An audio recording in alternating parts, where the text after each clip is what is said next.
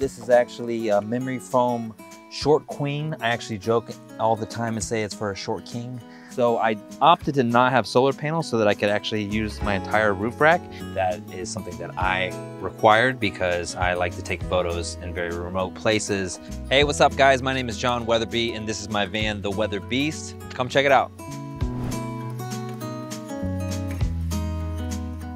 Welcome inside guys. So right now we are in the kitchen area in the van, aka also the living room because it's all such a small spot. But yeah, this is a cool countertop here. It's one of my favorite features in the van. It's matte black and super light. It's called Phoenix.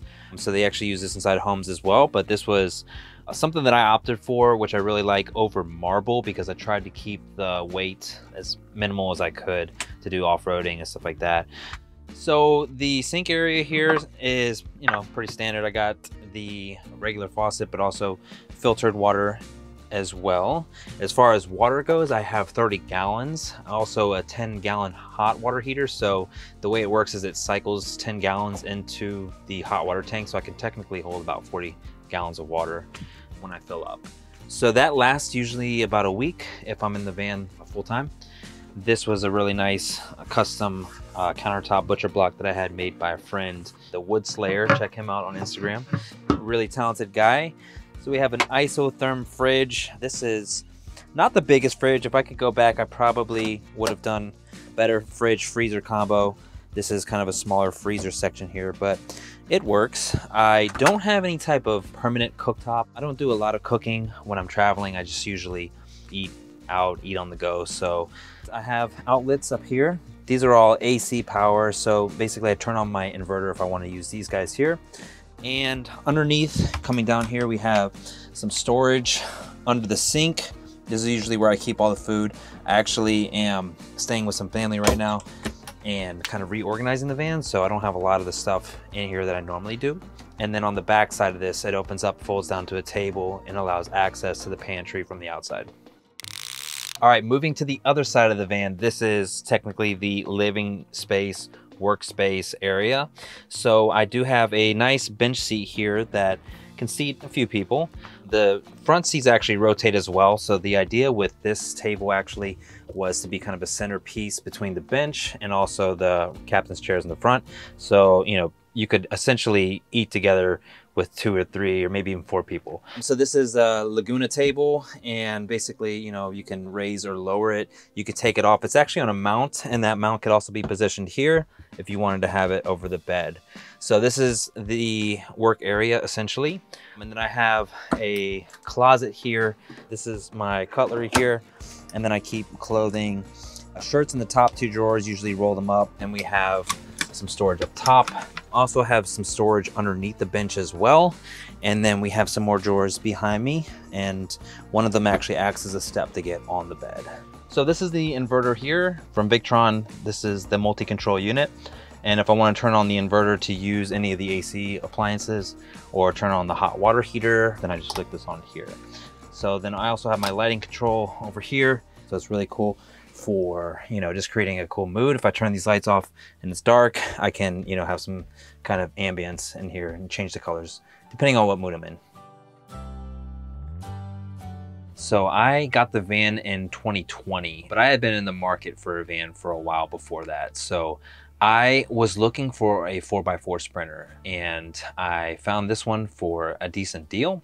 So I originally started working it on myself. I stripped everything out of the van and started to put down flooring and stuff. And I realized that I am not handy and it was going to turn out terrible and take forever. But the gentleman that actually got me into van life had a company building vans mm-hmm. and I eventually just reached out to him and decided to work with him and have it professionally built. That was a very great decision. Three years later, we're here. Everything is still in one piece and almost just as new as when I got it. And I've been full-time and part-time throughout that time, but mostly lately I've been part-time in the van and I rent an apartment for a few months at a time and store the van as well. So here is the bed. This is actually a memory foam short queen. I actually joke all the time and say it's for a short king terrible joke. But anyways, we have the fan up here. So this is on the remote control for the fan up top.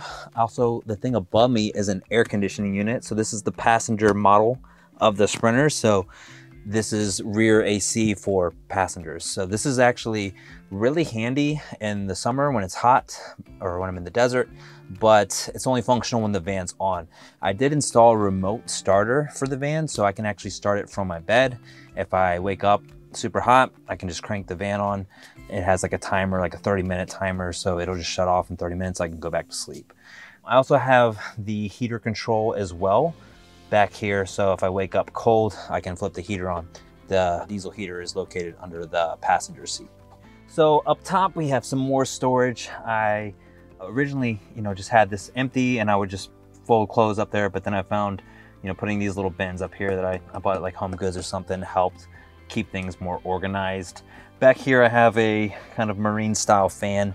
That's really nice as well. Between that fan and this fan, as long as it's like a decent temperature outside, I can sleep comfortably again. If I really need to, I can crank this on.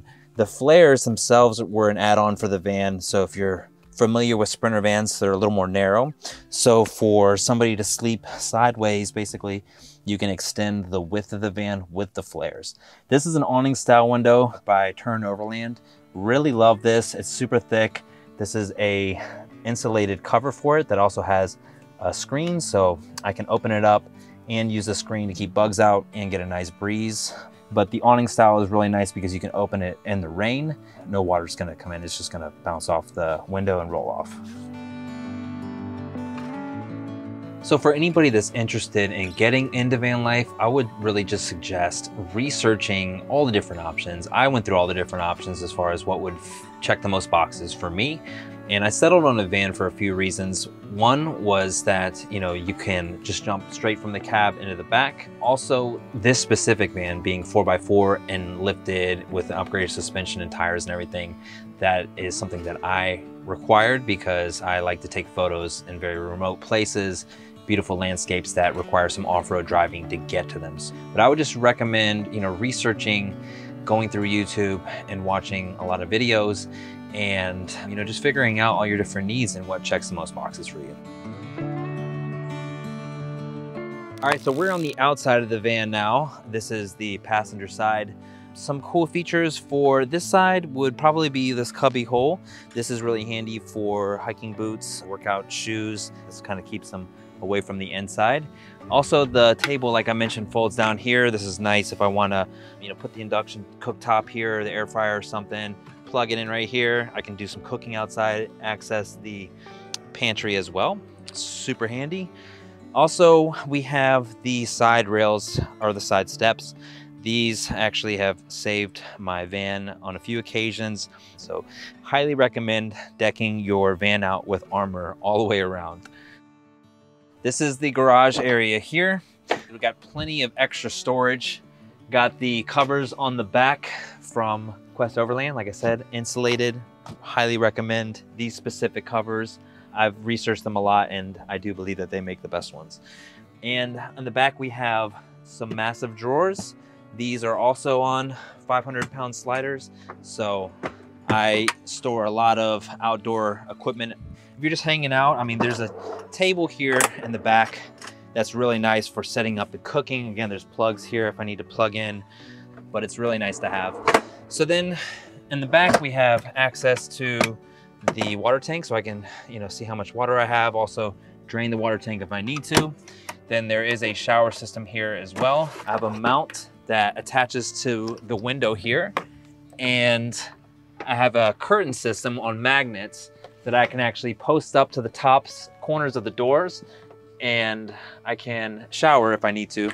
Back here, also some shoe storage, have the fuses for all the electrical system here, and then the switch to kill the whole power system if I'm gonna travel or something and leave the van for a little bit, I can turn off the in-house battery system. So back here we have the electrical system. I have 400 amp hours of lithium batteries and also a DC to DC charger. So this has been sufficient for me. I do a lot of driving. I don't stay in one place very often. So I drive enough regularly to recharge the system and I've never really, you know, run out of power or even gotten below 75%, even charging my laptop, camera gear, and everything. So I opted to not have solar panels so that I could actually use my entire roof rack. It's really nice to just hang out up there, you know, lay down up there, watch the stars. I even get up there with my tripod and take photos sometimes as well. All right, so thanks guys. That's my van. I appreciate you stopping by and checking it out. So you can find me on Instagram. That's where I spend most of my time, probably too much time actually. My handle is where is Weatherby. Also on YouTube as well, teaching photography. I have online courses. I do in-person workshops in Iceland multiple times a year as well. If you're interested in learning photography or going to Iceland, then definitely reach out to me through my social channels.